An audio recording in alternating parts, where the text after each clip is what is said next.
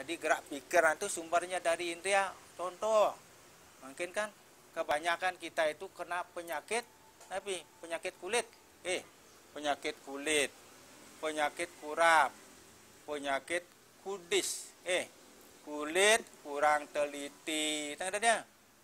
Kurap kurang perhatian, kudis kurang disiplin. Dia. Contoh, mungkin mata pun iki baru lihat swalayan, baru buka ke sana ayo. Ah, kenten perintah pun iki pikirnya pikir sing ya koordinasi jak budi. Ah. Ayo, ah, diperintahkan oleh pikir pikiran yang pertama. Mata memberikan pantulan pikiran menggerakkan. Budi tidak diajak konsultasi. Seharusnya kan Budi terakhir pikiran harus konsultasi. Eh, jadi kalau mau mau belanja ke mau urin ke budi ngelapis. Ke tuangkan budi pikirnya sing lah mensing do kemau inilah bijaksana eh inilah kebijaksanaan. Nah ini karena sumbernya dari pikiran itu yang menyebabkan orang untuk berbuat buruk berbuat baik semua dari pikiran. Oleh sebab itulah pikiran ini dikendalikan kebijaksanaan ini ditingkatkan. Bagaimana meningkatkan kebijaksanaan itu? Yaitu dengan meningkatkan spiritualitas kita kecerdasan kita ini sehingga kita dapat membedakan baik dan buruk. Ini kan campur adul mungkin ya karena sudah mengikuti pikiran mengikuti panca indera panca indera tidak kekendali inilah penyebab daripada orang-orang yang dikatakan utama berbuat keburukan. Jadi intinya sekali adalah pikiran. Jadi pikiran yang memegang peranan dalam kehidupan. Contoh kalau pikiran sakit semua badan ini akan sakit. Eh pikiran sakit sakitlah badan ini. Semua akan dapat pengaruh termasuk forum wajah itu juga karena pikiran kalau nih. Jadi pikiran sumbernya semua menurut sastra nih. Nah, bagaimana kita sekarang untuk mengendalikan pikiran itu latihan. Eh, latihan yoga, latihan pranayama, latihan pemusatan pikiran. Ini yang perlu untuk mengendalikan pikiran-pikiran sehingga bisa sehingga bisa nabi astana membangkitkan akal budi yang ada di dalam tubuh kita yang akan menentukan yang akan men, apa itu istilahnya menyatakan benar dan salah, baik dan buruk sehingga untuk berbuat buruk mungkin aja dibilang jangan itu tidak baik. Nah, itu itu itu kembali daripada pikiran yang dikendalikan oleh budi. Saya kira begitu. Eh, ampun kita patut Uh, Wendan punika dengan ajaran kamu catur puluh sarta itu dharma kamu moksa punika ratu Sali durung ke mana ada tiara tu pemargi um, uh, melaksana sedebece angin suang-suang sidang mencegah siosan ngadian siosan liang tapi merupakan tanggal jujur dan merupakan kemoksaan punika. Dua ni hidup punika manggil punika kantun uh, ke, ke antuk hidup duniawi ratu nge. Malih pidan jaga kelepasan punika. Dua ni angin jalan jaga kelepas puniki menten lungo kalasan mungkin ring dijo jaga matapo punika ratu engge Afrika sana kapeng kali sana ping tiga. Wenten ada giu mungkin ratu kantun uh, umat punika moksa punika kantun uh, moksa nika lepas punika ratu nenten lepas badan wadah ratu nih mungkin moksa sana sujati sana incian sepunika ratu engge amun dikatakan tiang Nah, patut yang kedua ada catur purusa harta. Dengar-dengar. Catur purusa harta. Dharma, arto, kamo, moksa. Dharma malu. Dengar-dengar. Arto, kamo, moksa. Sastra mengajarkan begitu mungkin dulu. Eh, segala sesuatunya dharma yang utama. Dengar-dengar. Tidak ada mengeluarkan seking dharma. Dengar-dengar. Tapi kalau sekarang umpamanya, kalau kita dharma, dharma itu artinya kebenaran, atau kewajiban kalau kita memerlukan melaksanakan kewajiban kita kan perlu harta. Dengar ya? Kalau tidak harta berarti dharma itu tidak bisa terlaksana. Dengar ya? Nah terus untuk harta itu harus ada kamu kamu itu keinginan. Keinginan itu untuk mendapatkan harta. Dengar ya? Nah setelah itu berjalan barulah kita mau moksa. Moksa itu artinya lepas dari keterikatan gitu deh momo moho dan mongsa momo artinya keterikatan esa artinya artinya lepas dari keterikatan kan jadi Darmo dulu karena segala sesuatu tidak ada membeli tidak ada tinggal ngambil aja waktu zaman tertentu juga dan semua ada itu. Sekarang kan semua harus dicari. Contoh makin Darmo harus bakti kan itu saya yang widiwaso kalau tangkil ke posake minimal wetan arto dumun kalau ngai pojati dengan ya. Kalau nyewa mobil Jan malun Darmo jaga kita dialog niki ya dialog ini debat niki mana yang dulu? Dan Darmo gitu terus ada sekali pun niko sing ado arto pun napiang eh sekali pun niko wau. Nah maka itu bersama-sama nggih yang penting untuk mendapatkan harta itu jangan sampai melanggar dharma niko mantan harta dicari dulu baru melaksanakan dharma. Apa generasi muda anak kritis mungkin kentan pun pedakiannya mensing lapu apa ngomong jalan dharma benar kan? Betul dalam kondisi senglah itu perdes kalau dulu ya tengah nih mungkin jek darmo ge antas kecuali mangku darmo tengah nih darmo mungkin gedok anda sengoyong gitu kan belum darmo blok diko ge. Nah niko jadi itulah tujuannya kita itu artinya keseimbangan antara darmo atau nah moksa niko wenten moksa saat meninggal wenten moksa saat hidup nih Eh, masalah saat hidup niki terlepas dari ikatan kesempurnaan, nggih. Kapan moksa hidup itu saat kita tidak terikat dengan Nabi dengan duniawi. Apakah mungkin? Dengar ya? Mungkin saja sepanjang kita seperti tadi tahu mana yang sejati, mana yang tidak sejati, itu loh. Mana yang abadi, mana yang tidak abadi. Badan ini tidak abadi, atman kini yang abadi. Niki dumun. Eh, material itu yang tidak abadi, dengar ya? Rohani ini yang abadi makanya kebahagiaan material sementara. Udah itu hilang udah. Kalau kita merasa memiliki contoh mungkinlah rumah kita punya rumah meninggal diambil oleh anak kita dikuasai. Begitu sudah itu sing lapis mana ada apa siapa sih sebenarnya pemilik rumah itu kan tadi siapa sebenarnya pemilik? Nah inilah inilah yang diinginkan oleh agama untuk dilepaskan keterikat kepemilikan kalau ada keinginan, terus ada kepemilikan, maka akan timbul keinginan, keinginan menimbulkan uh, kemarahan, tidak tercipta marah, marah gelap, gelap hancurlah semuanya. Jadi kalau moksa dalam artian meninggal itu tidak kembali lahir kembali. Apakah mungkin? Mungkin saja, mungkin ya satu juta sekian ribu miliar umat tak sandu Dan konya atas moksa sing kembali, tangkitan patut nyen kalau ngurunguang kayak yang tiga ben pidan gitu sih ada mitis malih gitu dah. Jadi itu cuma konsep gue. Kalau umpamanya sorga dan neraka itu adalah ranah pikiran tuh. Sekalanya mungkin leng lapis ya swarga lan kijau jani dijau ngajang ke swarga deman tuh dah luung sebangan. Tengah deh. Mensing lapis ngerempuyuk begitu cari siap dah buang tengah deh. Tapi kalau Maharsi tidak punya tidak punya tengah deh di, dicaci atau dipuji sama itu. Itu dia. Itulah yang dinamanya moksa. Bebas dari cacian keterikatan itu yang masih hidup. Ada namanya jiwan mukti. Eh itu jiwan mukti kalau masih hidup. Eh nah semua ingin mencapai itu tapi kan halangannya luar biasa patut luar biasa sekali. Karena harus mengharapkan tapi mas ini kok mengharapkan kenikmatan duniawi. Inilah yang menyebabkan kesengsaraan nih. Kalau bisa kita melepaskan, tapi di satu sisi kita butuh nih, butuh materi untuk mencapai tujuan. Dengar nih. Seperti kendaraan kita perlu. Kalau tangkil mereka itu kan alat itu. Nah, tapi kita tidak terikat. Kalau hilang jangan dipikirkan lo ada, jangan terlalu dibanggakan. Nanti akhirnya begitu pada eh, eh, eh. Sanewau idarasi ini di sejeroning keuripan ring dunia puniki hanya numpang lewat ya. sekedar minum kopi. Nanti itu semuanya tidak akan kita bawa ya, uh, kita tinggalkan uh, dan kita tidak bawa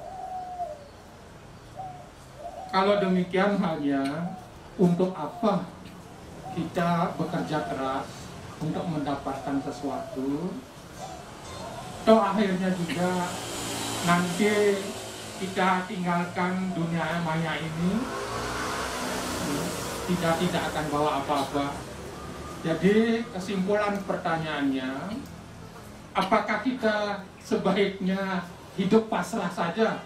Kalau demikian, uh, Sani Wawu bahwa sang ide Desi Agung kalau hidup ini hanya numpang lewat saja hanya sekedar itu uh, ngopi uh, tapi wastane bekerja keras. Kan percuma ya untuk apa juga? Lebih baik kita hidup pasrah saja. Ini satu nike kerang langkung pinunati tiang tiang munas agung pengampuro kita tahu bahwa hidup kita ini cuma numpang lewat untuk apa kita harus bekerja setengah mati berusaha toh akhirnya akan kita tinggalkan tidak dibawa.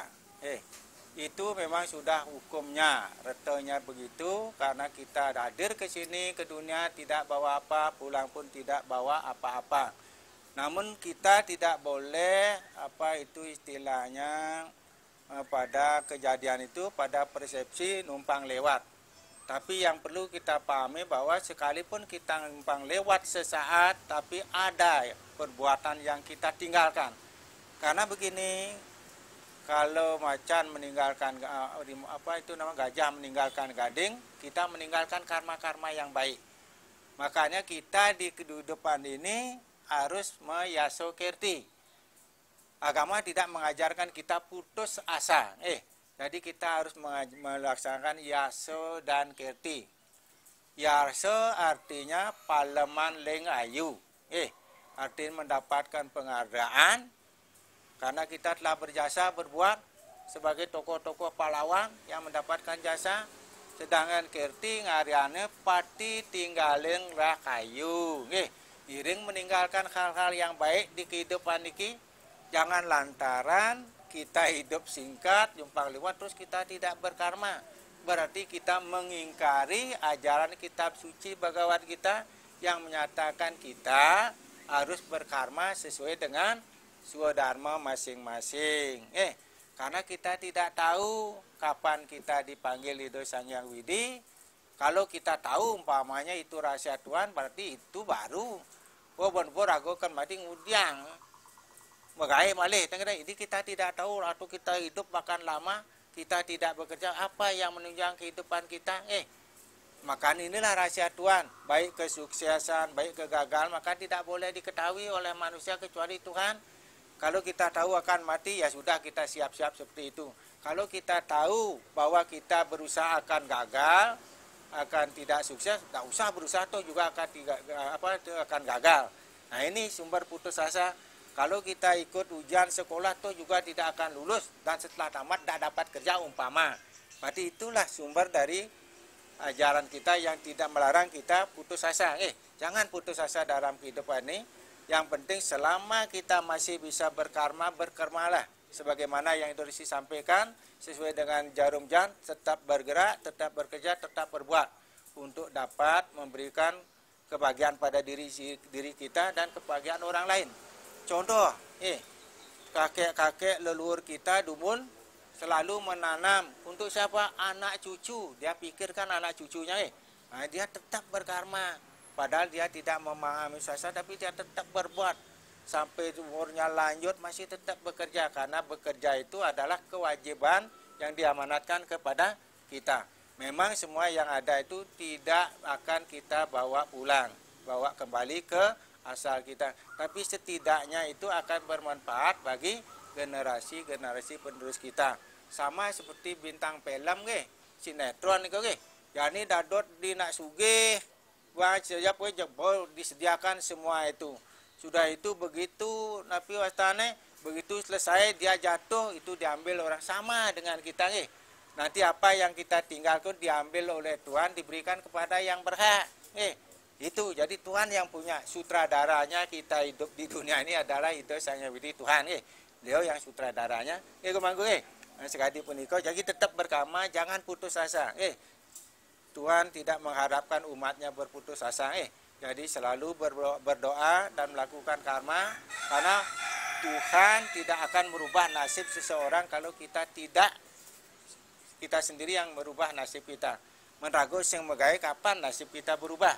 kalau kita tidak berkarma. Eh, karma yang merubah perbuatan kita dari baik dari buruk menjadi perbuatan baik. Yang kira begitu, Bu?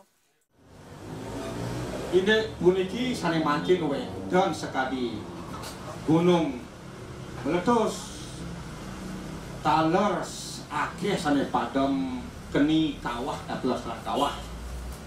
Taler wenten makin sane agwe sane menggantung diri. Sane tungas tiga sane pertama. Sane jen sane mewasto padam ulah pati. Taler padam salah padi yang wenten sapunika punak pitados pemargen upakara sapunika. Inggih. Aspunika tunas titiang Agung titiang matur semua bencana alam. Eh maupun genten wenten dan lain di Bali kita kenal ulah pati. Sampun genten salah pati. Eh salah pati ngulah pati. Bagaimana dengan bencana alam kalau bencana alam ini kan bukan kendak dia. Eh kendak dia ini adalah cobaan Tuhan hukuman Tuhan kepada kita.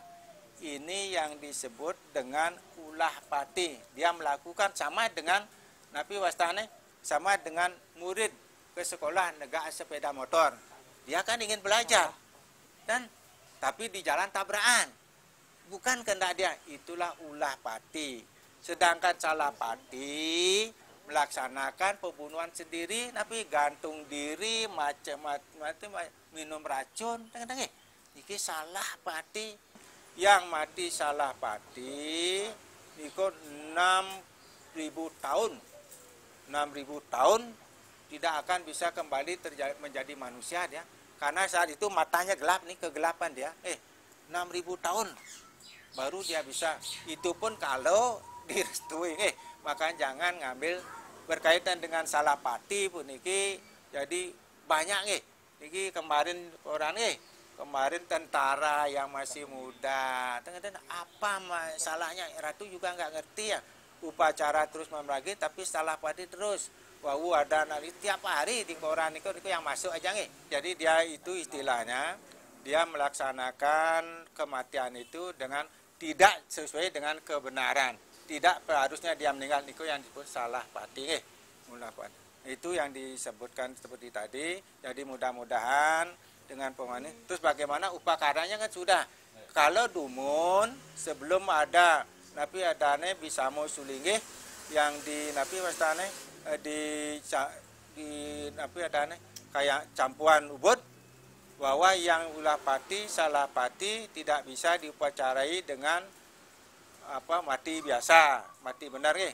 Setelah tahun 61 ada Bisamo, ulah pati, salah pati, unang kepercayaan dengan uang mati benar. Nah, ini ampun tidak ada perbedaan. Sake wanten di masyarakat tentang ada bebinan nih. Jadi itu sesuai dengan Doko Dresto, Desto Dresto nih. Yang mudah-mudahan sekali punika tuh Haji. Nggih, mudah-mudahan ada manfaatnya. Eh, saya kira sampai diki sampai di sini dulu Dharma Wacana mungkin ada yang tapi tidak berkenan, ada yang uh, singsal atau keliru, sama manusia juga tidak lepas dari kesalahan. Mari kita bersama-sama mengakhiri Dharma Wucana ini. Mudah-mudahan ke depan ada waktu kita akan ketemu lagi dan saya mohon kepada segenap masyarakat umat Hindu Sedharma mari melalui Dharma Wucana kita meningkatkan serado dan bakti kita kepada Sulinggi yang sudah memberikan tuntunan kepada umat. Mudah-mudahan akan umat kita itu makin cerdas, makin memahami tentang keberadaan agama kita dari tato, susilo, dan upacaranya. Untuk akhir kata, mari kita akhiri dengan para Santi. Om Santi, Santi, Santi, Om.